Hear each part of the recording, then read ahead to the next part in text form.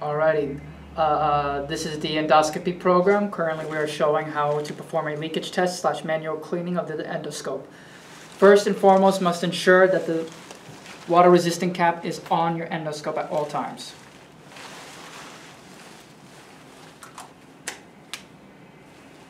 Now to show the equipment that we'll be working with. This is a channel cleaning brush, as long with this. This is meant to go throughout the entire endoscope. This one's to clear the outer layer and uh, uh, some of the channel buttons. We have our syringes right here, a 30 millimeter syringe and a 5 millimeter syringes. A channel plug adapter to plug any uh, holes inside the endoscope. This is our Olympus leak tester, which will be performed to make sure to ensure that no leak is coming out of the endoscope, as well as a scope buddy that is used to ensure uh, proper flushing throughout the entire endoscope. For an endoscopy, it only takes six seconds. For a colonoscopy, it takes 60 seconds.